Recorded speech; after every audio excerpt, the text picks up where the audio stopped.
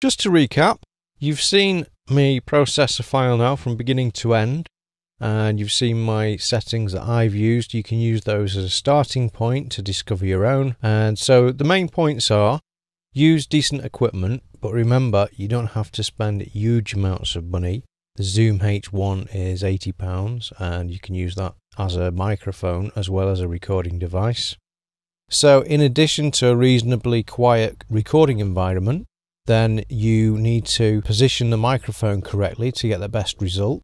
So not too close and not too far away, just, just in the right place to get the best sound. And you can do this more effectively if you monitor the recording as you go with headphones.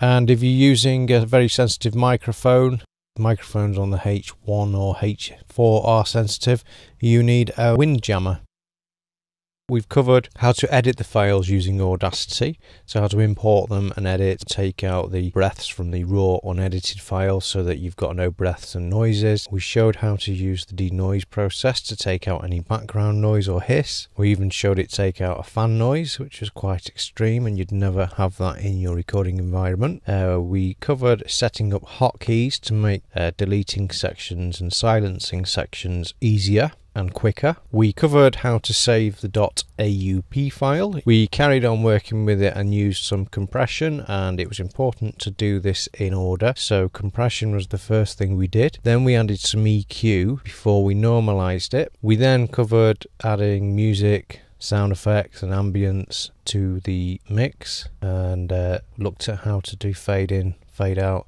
uh, then we created a masters folder and exported the audio ready to sync to the video. So hopefully that helps you to understand the basics of Audacity and hopefully you can see how using this software and understanding a few processes can make your soundtrack so much better. Thank you for watching and happy audio editing.